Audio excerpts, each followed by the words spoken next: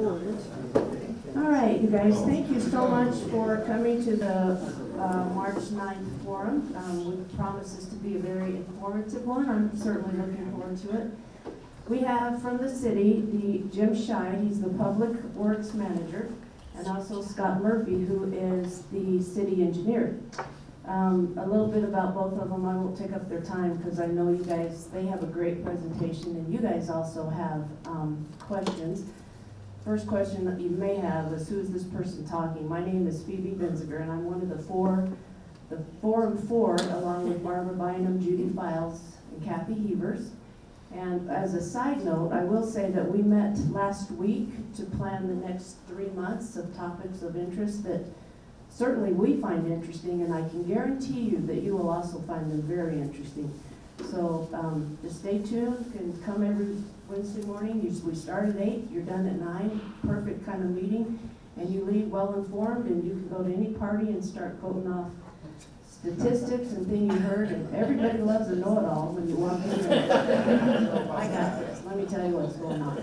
So, um, if you're not on our form list, and I would assume everybody here is on the form list, but I actually talked to someone this week who wasn't on the list, who should be, so if you know of somebody, or if you're not getting your emails, please let us know after the forum.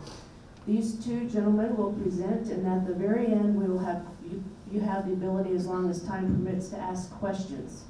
So raise your hands, um, it's questions, not comments, although you can certainly pepper them in with positive comments.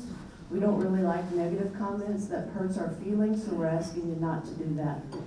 So, um, you really do not have to drive around very far in Montrose to notice there's a lot of activity going. There's a street going in, there's a project being built, there's a project that has been built.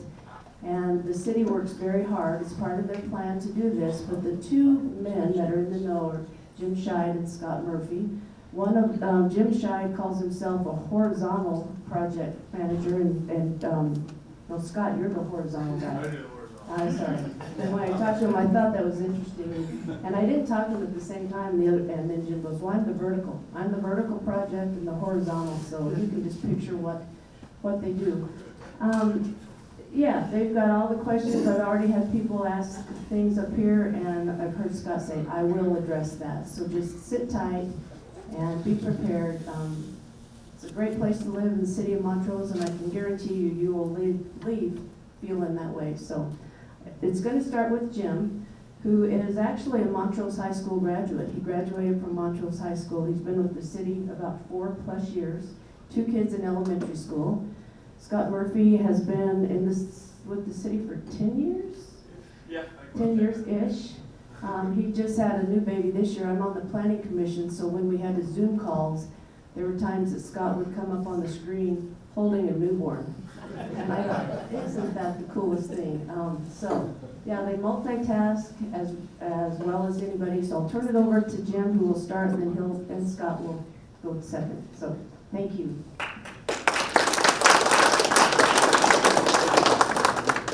Good morning.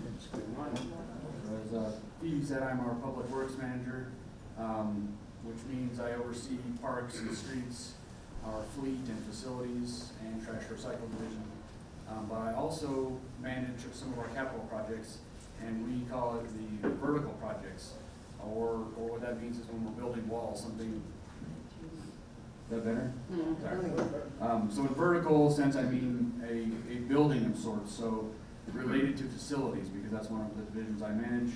Um, when we're building a restroom or a new police department, for that matter, that's where, um, I would come in and manage a project where horizontal is streets and something flat. And that's where Scott comes in. So, with that, today we'll talk about a few of those um, capital projects, um, both from ones I'm managing and Scott. Um, and here's here's a few that I'll be talking about today. The uh, public safety complex, the new police department right on South First, uh, new irrigation system in Buckley Lions Park, um, a new restroom on our Connect Trail, wayfinding signage, solar lights that you'll see in our parks, and um, our City of Montrose Streets Crew asphalt maintenance plan for the year. So let's start off with the uh, public safety complex.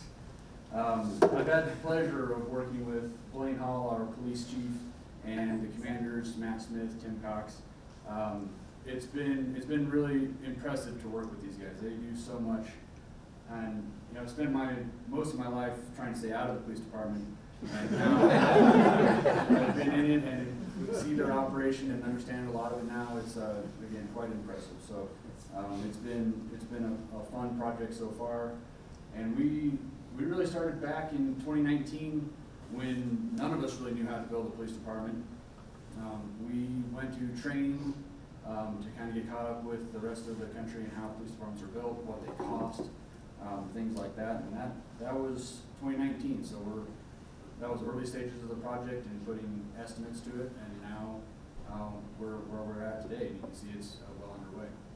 Um, this picture was from twenty twenty, um, first day of demo of one of the buildings that was on the site where the new PD is at now. And Blaine took the first swipe out of the building with the trackhoe, so, um, I'll never forget that smile. I don't know if you can see it from there, but, I mean, smile is year to year. Um, this picture I actually showed last year here at Forum was the stair tower, um, and kind of pile cap stage of the project, um, early on, so I don't kind of even recognize that anymore now. Um, but this was last June, um, on the public safety complex project, so. Um, the stuff we'll never see again, so all this is buried in concrete and steel. So this is a, um, graphic I like to show. Um, so on the top there you have, um, you know, which sticks, old guy with sticks, uh, dowsing rods, another old dude trying to find water, and then you have contractors on a Friday afternoon. Yeah. It's, you know, after a certain amount of time, after a stressful situation, you can laugh about it. So I'm trying to put this up here so I can laugh about it. Um, because early stages of the police department project, we found a couple water lines that weren't supposed to be there. Um, sewer lines that were not there.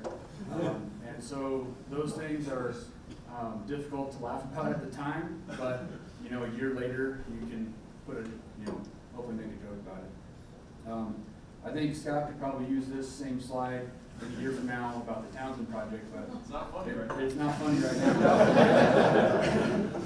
No. Um, But actually, what we did learn from some of those issues is the importance of as-built and GIS location of utilities.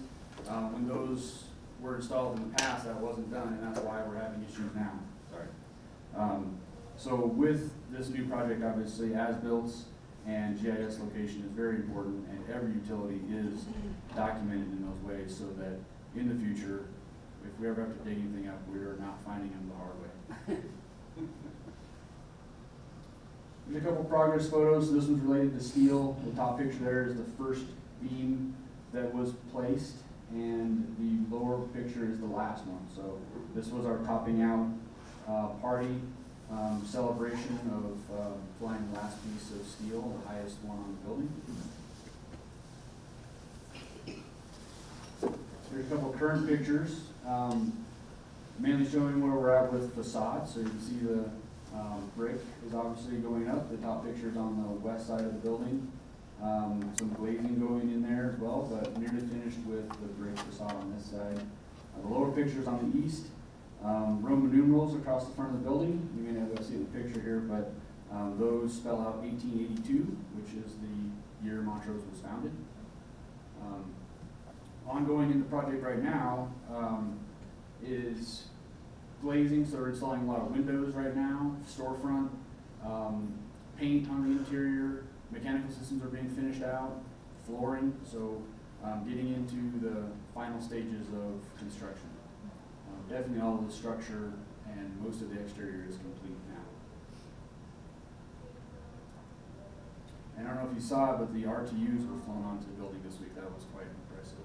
Two very large air handling units were placed.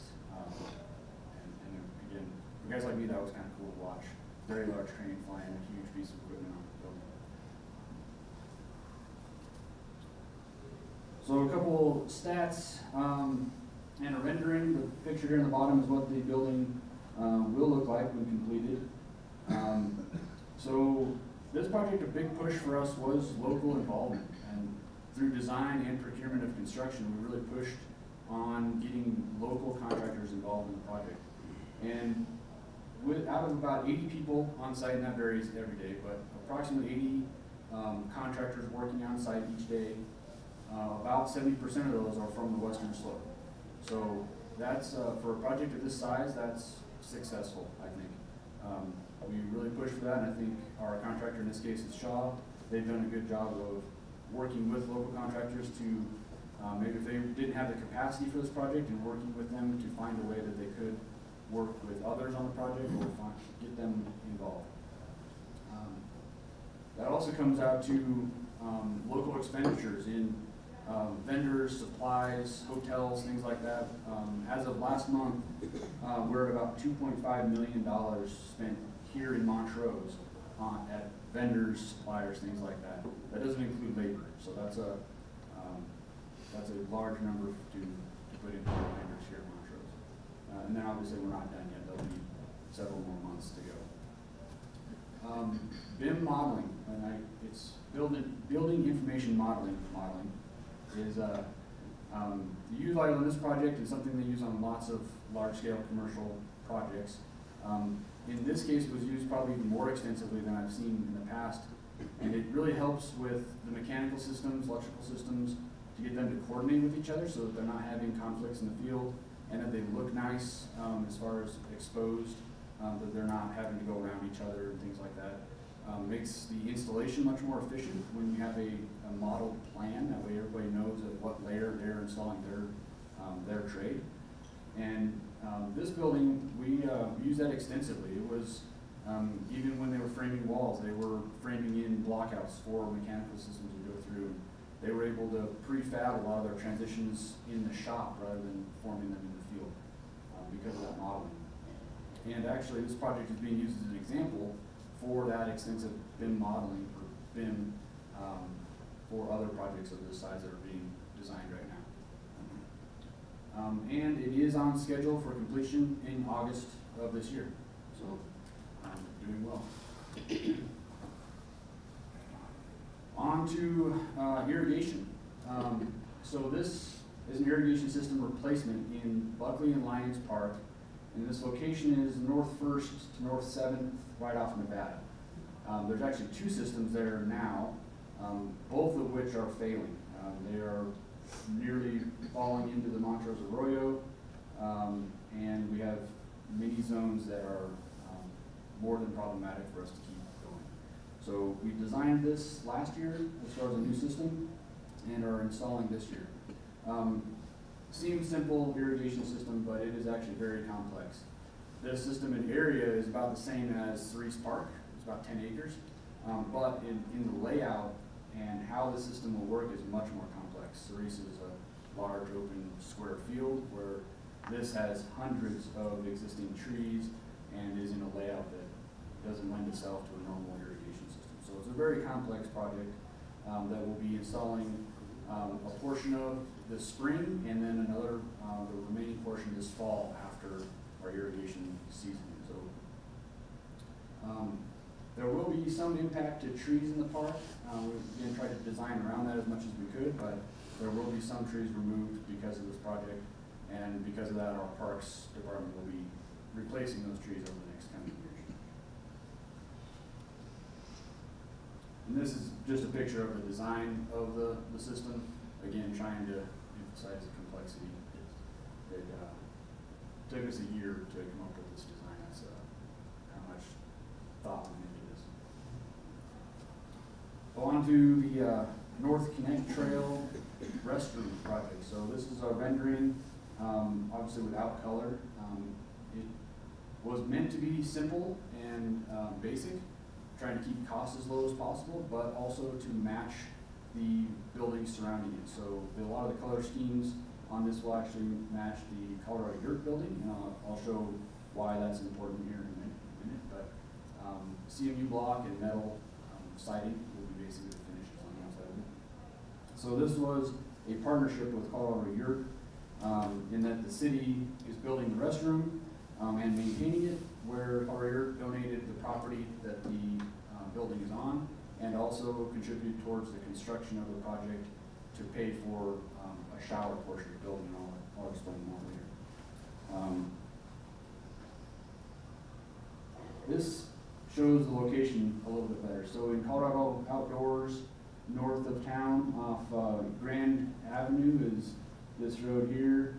Mayfly Drive, this one, and the new Colorado Yurt building is being built right here. Flex buildings are right here. Um, so right behind them, along the connect trail is where this restroom be. Um, it's on a very small piece, um, behind the parking lot of Colorado right, right on the trail. Um, the,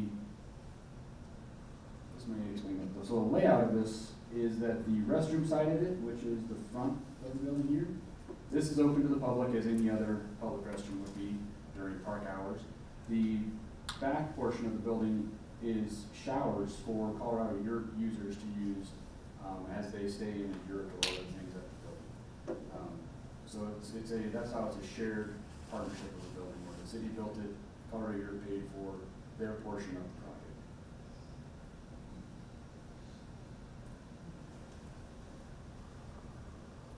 Wayfinding signs is another thing to look for, uh, coming this year.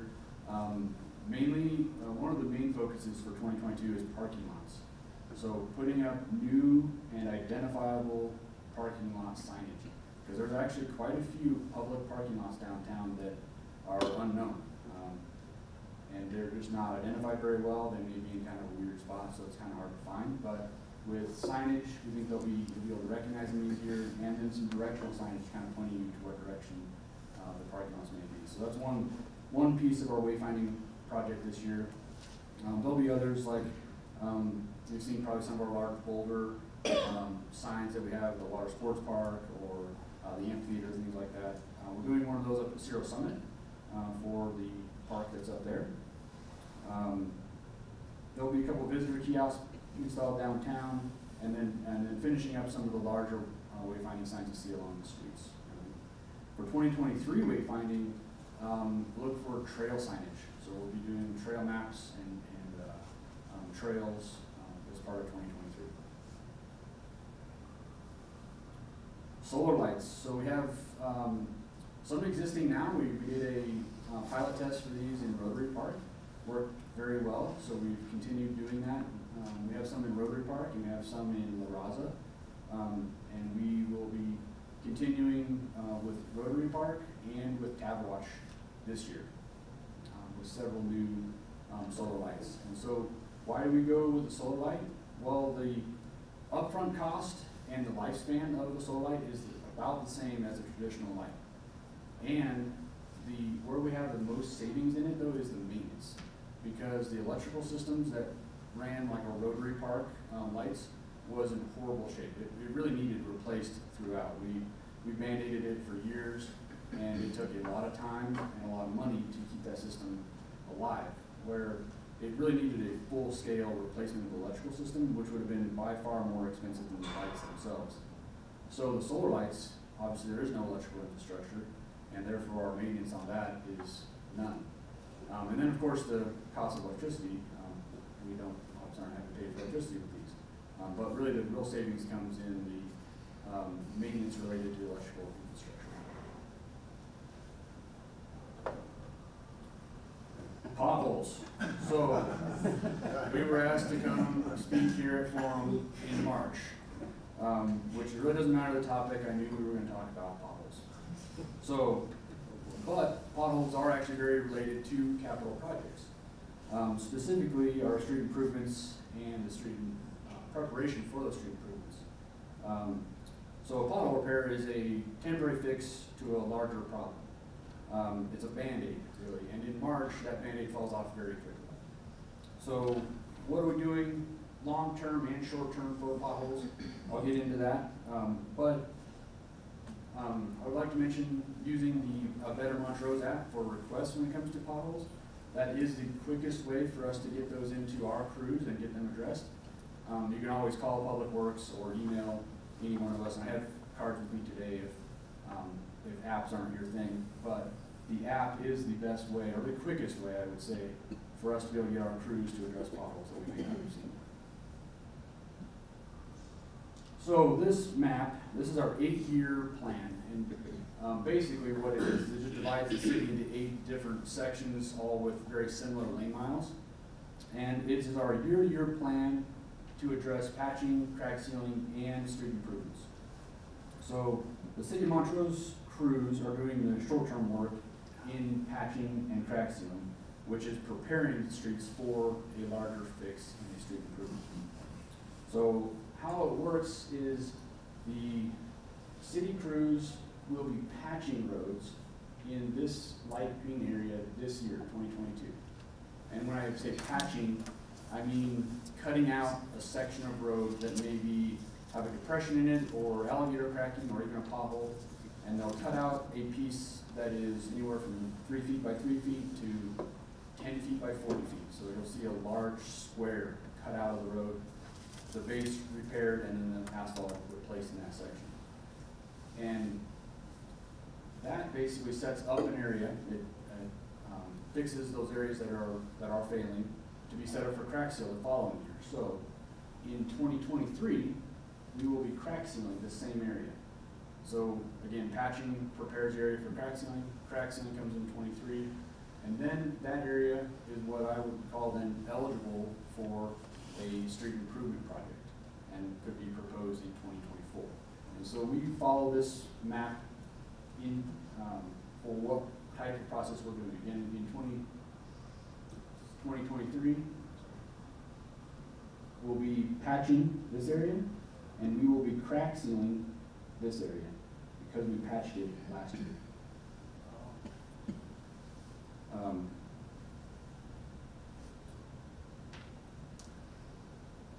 Crack sealing, so last year, in twenty twenty-one, we did hundred and twenty thousand pounds of crack sealing.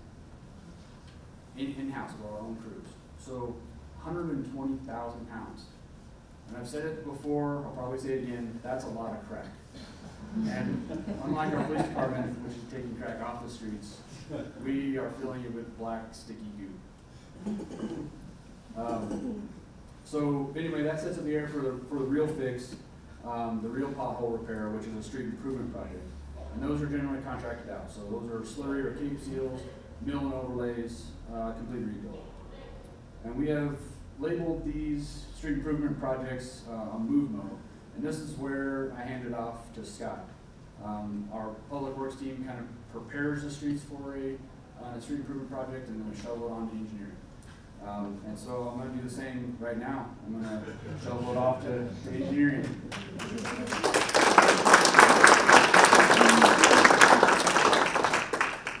Thank you, Jim. Um, so my part, I'll start with, uh, yeah, the contractor street maintenance. So, um, like I said, anything we can do in-house, kind of the base flow, uh, the street crews are doing, and then the larger projects that either have specialized equipment or are just beyond the abilities of our, uh, team to do from a labor standpoint, um, gets contracted. And that's, that's where I come in. Um, so we have branded a lot of that as moving Montrose forward. Um, you've seen this sign probably around town, and that's our webpage, movemo.co. Um, and that's where you can go to get a lot of information on our capital plans, um, updates as things are going on, road closures, things of that sort. You can set it up so it'll give you notifications also. Um, we try and keep it updated. Um, sometimes Barbara reminds me like, hey, this is getting late. So, um, thanks Barbara. That's very helpful actually because she gets a question and she looks and, oh, that's not there. So we get very busy and, you know, webmaster becomes part of, part of our job also. So, um, so if something's missing, feel free to call us also. But, um, so I'll hit on that, and then I'll talk about a couple of leftovers from twenty twenty-one. Um, usually we don't have projects carry over. Uh, twenty twenty-one was a lot more difficult than twenty twenty. I think, um, a lot of the labor issues and supply chain issues became more apparent in twenty twenty-one. Um, and outsider stuff that was just plain out of our control that I'll go into. Um, uh, for that have driven some of those projects carrying over. Um, they're pretty close, but, uh, I'll go into the, the story on those, so you guys are in the know on that. And then I'll go into some of the projects, uh, larger capital projects that we have going on this year. Um, all in total, about, and new projects for twenty twenty-two, about ten million in uh, horizontal projects. Um, so going into the street maintenance, so this, you know, from Jim's map, it was the plan for the whole town. This is the plan for twenty twenty-two. Um, so you'll see, uh, s- the red areas are a lot of surface treatments. I call it road sunscreen. Um, you know, a lot of the residential areas and whatnot, they, they don't get a lot of loading, but they just sit there and they get old and they get brittle. The sun wears them down and we gotta cap them. Um, the old way to do that was, uh, chip seals. Everybody hates chip seals. Um, so you'll see kind of a more modern version of that are slurry seals, which I'll show a picture of here in a minute. Um, we also have some rebuilds, some overlays, um, and mill overlays. Um, and we try and find a balance between, we try and hit, you know, all portions of town so that, um, uh, you know, we're not just focusing on a certain area that, you know, the general adage in, in, uh, street maintenance is keep the good roads good. It's like paint your house before you have to replace your siding. Um, that's great, but if we did that, you know, we're far enough behind, um, that we would only be focusing in a certain area of town. So we do have to spread the love, uh, find a balance between keeping the good roads good, but also repairing some of those that have gone bad.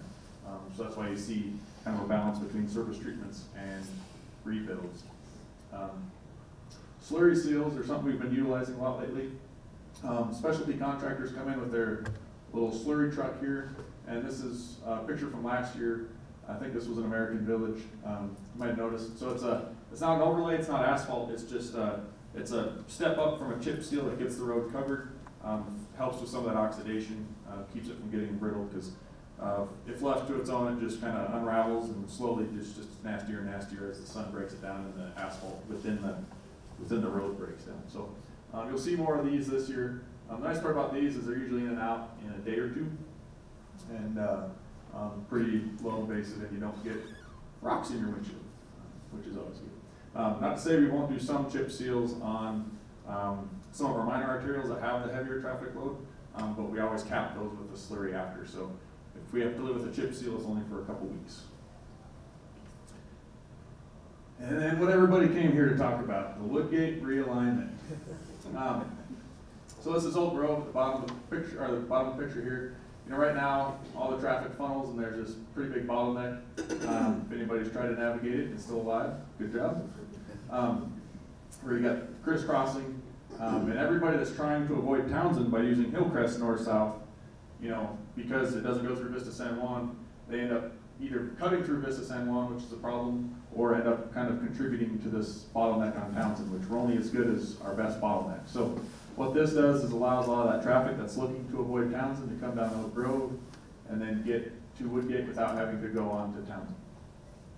Um, the problem is there's a couple of cabinets here. I'll show a picture of in a way. Um, that's its own story, but um, right now we we were pretty excited. We got a land deal that we've been working on. I think the city's been trying for 10 years or so. We finally had a breakthrough a couple years ago. Got everything worked out to purchase the land we needed to get the road built. You know, long term, this will be a roundabout. Um, it's not really right for it yet. We don't have all the land, so um, we're building the. This is a three-way for now, and we'll have a follow-up project to bring a roundabout in here. Um, and so yeah, so working on the design, we engaged. Uh, we don't name any names um, of the utility companies, um, but that feeling you get when you call the utility company and you get stuck on hold and you feel like nobody's listening and you're really frustrated. So that's like two years we've been doing that for these guys. Uh, this was taken uh, a couple days ago. Um, the new road will run along here. You can see the edge of the road will be here. Um, we have a quarter of the town running through these boxes right here. Um, we do that obviously through design, engage them. Um, they've had the plans, we've been working with them for about two years now. Um, call it COVID, call it all the wildfires, you know, they had to go put two cell towers and fiber stuff, whatever, you know, they had, they had every excuse in the book, but at the end of the day, it's kind of out of our control. It's, it's not a city utility, they're third-party communications utilities. We're relying on them to get them out of the way. Um, the good news is, uh, they're finally getting them out of the way. So, um, it's about, I think all in all, with every connection, about ten thousand wires places, um, that have to be done. So it's just three months of just putting wires together. Um, and, uh, yeah, so, um, they've been good to work with, just, they just don't show up. Um, Could be worse, they could be mean and not show up. Um, so, uh, we're poised, we didn't wanna close, you know, there's still work we could do in, in Old Woodgate to get some of the utility work finished, but we didn't wanna close Old Woodgate and then be waiting on this. because you can imagine the detour and all the shortcutting through Vista San Juan that'll happen once this is closed. So we really want to make sure that these are gone before we pull the lever on that, um, just so we don't end up with a detour for eight months and gravel roads and, and the mess that would come with that. So, um, uh, we've done everything we can do to get to, you know, that point. Um, this is just the first lift of asphalt, so when we do the final one, it'll all be nice and clean and, and run through the whole thing. Um, then this land on each side remains private land, um, so no plans for that yet. Um, uh, but eventually, you know, we probably likely see commercial development there. Um, Another carryover from twenty-one, uh, the city partnered with a private developer, they're building ninety-six apartment units in Colorado outdoors. Uh, this is a picture of their construction last week. Um, the first building's onto its third floor, that's as high as they'll go, they're three-story buildings. Um, to help facilitate housing, anybody who's ever tried to buy a house around here right now, or have someone find a rental, it's pretty much impossible. Um, so the city's trying to help, um, ease that, or fix that problem for our community, because we need housing to make everything else work. Um, we did some of the infrastructure work to support this. Um, similar deal, there's this little block that's, we got the regular retaining wall blocks, but there's this fancy block that has two sides to it that, for some reason, I guess is harder to ship and make. Been on order for a year, um, and didn't let us finish the street going down into it. So as soon as those blocks show up, the city will be paving that street. Um, and, uh, and, yeah, you can call and yell at them, and then they put you at the bottom of the list. You know, Try a different tank. Um, Sunset Mesa tank, so everything's built, uh, the tank is obviously built. Um, this is a picture from the pump house, it's a two-story pump house. Um, uh, but we're missing a pump, um, which is pretty important to the operation. Um, this is Jim's joke, so I can't claim it, but we think that pump is right here. And last I heard, they got that thing free, but then they're holding it in port until they pay their fines. Our pump is with it? The only explanation I can come up with. Um, so, yeah, so it's not in service yet, everything's built. Four bolts and a pump and we'll be there, but we don't have a pump. Um, kind of interesting picture, this is the old, um, the old tank. Um, so, uh, it came down really easy. Uh, uh, it was, it was due, um, actually took about forty-five minutes to demo, it was pretty surprising.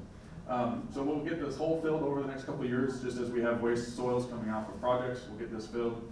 Um, because eventually the road that goes over, um, Sunset Mesa will likely pass right through here. Um, And so kind of planning for the future there.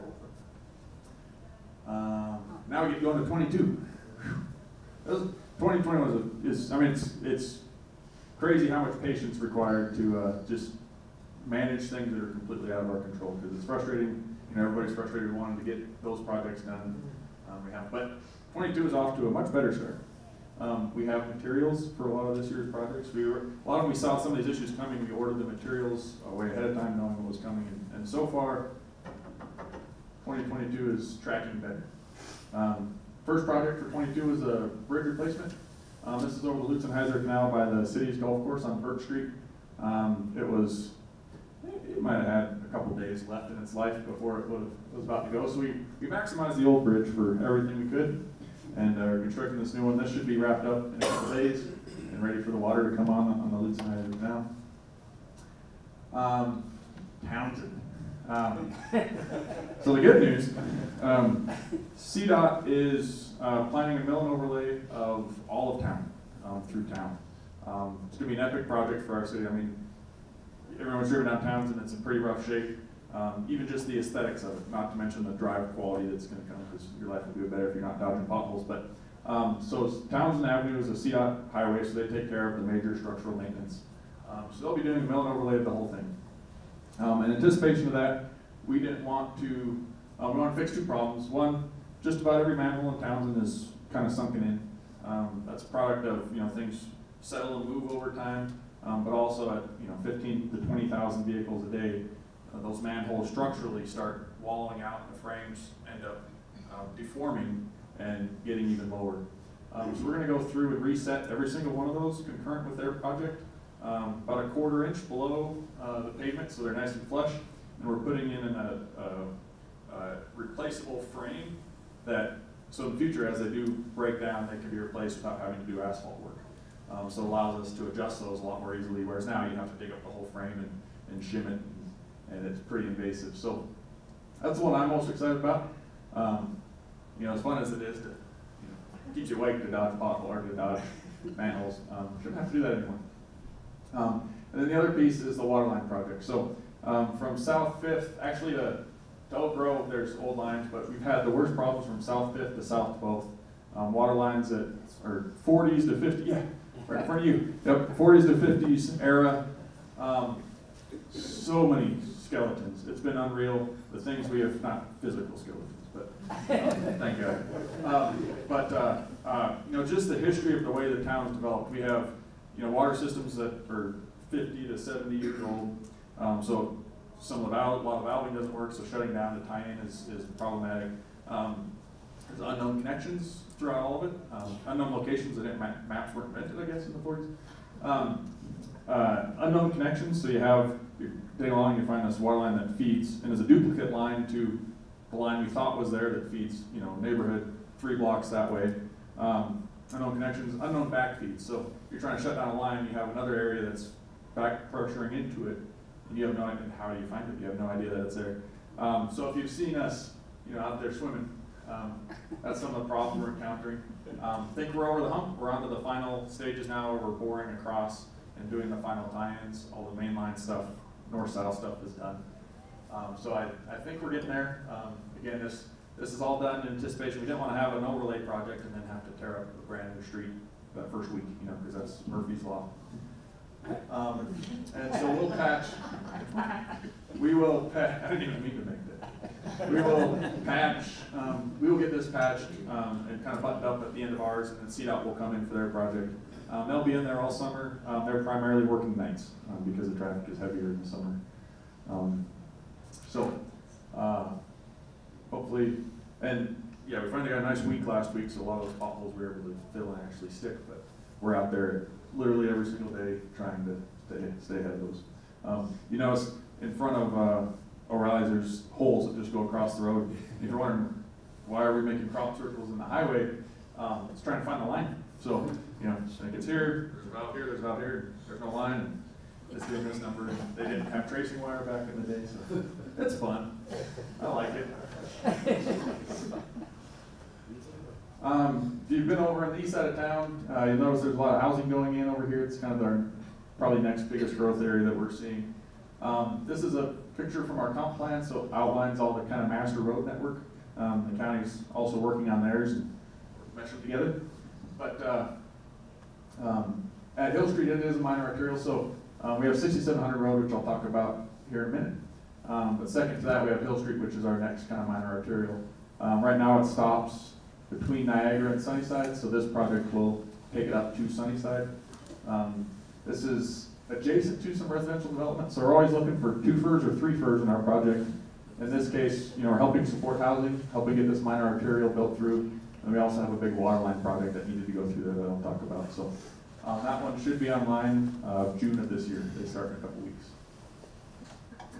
Um, adjacent, or down that same alignment, we're putting in a 24-inch HDPE water line. Um, so over the last couple of years, we've been working as growth continues, water demands continue. So um, both, uh, you know, more demand um, with drought and people watering their yards more, but also more people. So that's driving more and more demand. Um, we need to make sure all of our tanks, are, or except for Sunset Mesa, our eastern tanks are up along the eastern edges of town, and we need to be able to keep really good hydraulic capacity to those to keep those full. Um, so when there's demands or peak demands or a fire, those tanks are full and ready to go. Um, but also that we have good flow through on those two to keep water quality up. Um, so that's what this project is doing. So it's we don't really have a problem with um, maintaining water pressures or anything, um, but we would if we don't stay ahead of it. So this is a master plan capital project, uh, about three million bucks to run a 24 inch water line, um, where we left off a couple of the projects two years ago um, to get from 6800 and Sunnyside down to 6700 and East Oak Grove. Um, there's a pump station down there. Um, so you'll see, uh, originally they were going to do it in the fall, but now they're going to try and get done in the spring window. Um, right now they're going through Fox Park. Um, and trying to get that restored before the park season. Um, and then you'll see them in Hill Street, the paved portions of Hill Street, Niagara, um, after that, and then we'll finish up at the south end. Um, this project will probably, might be done, um, this winter, um, we might spill early in, or into a portion of twenty twenty-three. Um, they're running ahead of schedule, so it might get buttoned up this year. But pretty cool project, so this is, this is twenty-four inch HDPE pipe, um, comes in fifty-foot sticks, this is a fusion machine. Um, this is probably a, you know, hundred and fifty year pipeline. The idea is, never have to touch it, size it once, do it right, do it once, and, uh, they fuse it up on the ground and then kind of string it down into the pipe, which you can imagine, um, with all the utilities in the way, can get pretty fun. Again, we like a challenge. Um, and then another one happening, this is, uh, this project's being spearheaded by the county, um, thanks for being here. Uh, the signal at Chipeta and US five fifty, so, um, continued growth down there, and then kind of, the straw that broke the camel's back on it was the uh, hub project, helped kind of facilitate, um, uh, putting it, it was getting close to meeting warrants. With that project, it finally met warrants, so CDOT will allow us to put in a signal. Um, so the city and county are partnering to put in a signal at Chipeta. And that should be started here this fall, fairly on track, uh, once we get through all our clearances with CDOT. And, uh, uh, that's a process it, so. Um, I'll talk a little bit about design, I wanna talk a little bit about water, because everybody likes to talk about water, and water is a big deal. Um, so, the next big, or the next uh, roundabout project will be Niagara and Hillcrest, we're working on the design for that this year. Um, there's a couple pieces of property we'll need to buy to get enough right of way for that, or a couple portions of property we'll have to buy. Um, so getting the design done for that, so we're ready for construction in the next, you know, two to five years. Um, we got two million dollars from West Main, this is a picture of West Main here, um, to, they call it a West Main revi, they call it revitalization grant from CDOT. Um, it's focused on, uh, sprucing it up, so finding a good balance point between traffic, pedestrians, bicycles, and business friendliness. Um, we don't know what that template's gonna be like, so we'll do a lot of studies, a lot of, uh, alternatives evaluations, public outreach, and see what we wanna do with West Main. Um, but I think we can all agree, if you're in a wheelchair and you wanna walk down that little microscopic sidewalk, it's not a good thing. So, um, we're very excited to get the pedestrian connectivity through the area, uh, especially with, you know, the growth of the Connect Trail, West Main Trail and all that, so. Um, that's just design we're working on this year, construction will probably start in the middle of twenty-three. Um, you guys notice there's a little bit of traffic growth in town. Um, uh, trying to hit and stay ahead of, um, kind of the intersection capacity issues that are likely to come as, as Townsend continues to see pressure. So we're working on alternate routes to Townsend to keep some of that pressure off of Townsend, um, but also, um, you know, Og, the, the good examples are Ogden, East Oak Grove, South Fifth. Um, you have some misaligned intersections, don't enough turn lanes. Um, we're gonna start running into capacity issues, so we wanna get master planning done on that so that, you know, as CDOT works on, um, things and grant opportunities come around, um, we can get the land secured now, get plans on the shelf so that we can start getting some of those intersections improved. Um, we're also working on the design. Um, the reason sixty-seven hundred doesn't, there's a gap in it between Sunnyside and Miami is, um, there's land in there that the city doesn't own. Um, we're working with the owners on that to purchase what we need for the right of way. And I think we've had a good breakthrough on that. It, it should be coming together hopefully here in the next two to three months. Um, that'll allow us to get the design ready and that would likely go to construction in twenty-three if all goes well. And then water resources. So, um, part of our job is, you know, we manage capital projects, uh, development infrastructure, and, uh, stormwater and water resources are kind of the main parts of my job. Um, our water resources are good. Our um, predecessors have set us up really well. We're using about half of our portfolio and the water resources we do have are relatively stable. Um, that being said, the Colorado River is in, which we are tributary to, is in really bad shape. Um, Lake Powell is hitting crisis level, I think, this week, uh, elevation thirty-five, twenty-five. Um, it's unprecedented territory for, you know, the law of the river and the Colorado River system. So we don't know what the future holds. Um, you know, at the federal level, locally, we're, we're fine and we're great, but we want to make sure that it stays that way. Um, water is extremely important to our quality of life and our agriculture, and, you know, everything we do here. Um, so we're doing a, you know, now we know, kind of, we know we have new technologies, um, with our automated meter, automated, automated metering systems with our um, residential water use to do really detailed demand forecast for build out of our, our water district. Um, we have a defined water district that eventually Um, you know, the city of Montrose would be full, and then anything that happens in the peripherals would be Tri-County's water district or other water districts, but um, we want to make sure that we're good stewards of it. We kind of want to create a good culture of water use. So, you know, the days of just covering your lawn with grass just because that's what you do, or I think are, are going away, and we want to help foster better, smarter use of our water through various things. Our own internal operations, switching over to irrigation when possible, um, not having non-essential turf, um, but also land use codes that help help us stretch our water resources as far as we can while maintaining that quality of life that we all love. So, um, I could talk about water for days. Um, if anybody wants to talk about it, love to talk about it, give me a call. Um, and then, uh, next project that's also in the hopper is this county is working on design of a signal at the Montrose Airport kind of go concurrent with their terminal expansion. It involves the railroad, which that's its own animal. Uh, we're helping, in the name of tourism, we're help, we're helping fund that project, so we'll be contributing one and a half million to that construction once they get there. Um, my guess is construction will probably be twenty twenty-three, um, maybe twenty-four, depending on how the railroad stuff goes.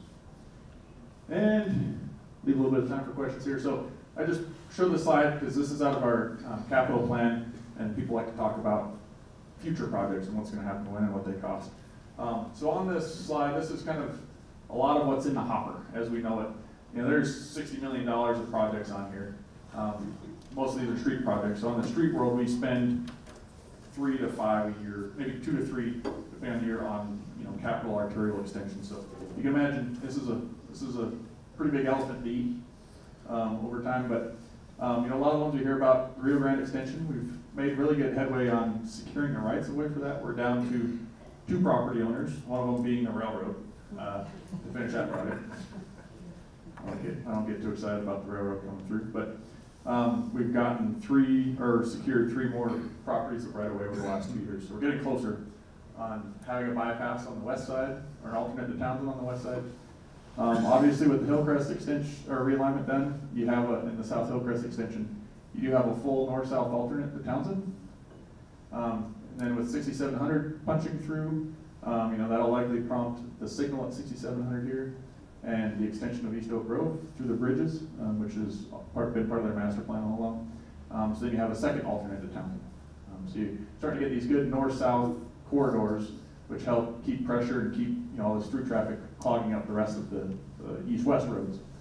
Um, you know, Ogden has always been a tall order. You know, we, there's like 22 properties we'd have to acquire to get Ogden wide. So, there's some development that is occurring that might help it start incrementally getting done. Um, so we're hopeful there. Um, obviously, the roundabout we'll be doing. Um, you know, once this corridor's roundabouts are done, the next likely place to go will be the 6700 corridor, probably starting with the Niagara roundabout. Um, so, no shortage of projects. I think Park will probably happen in the next couple of years. Um, finally reconstruct North Park, get rid of some of those horrible grounds and, and drop-offs and all of that. So I'll leave this one up because that's what people usually like to ask questions about. and It's a good place to point to. So um, with that, if you got questions for either Jim or I, happy to.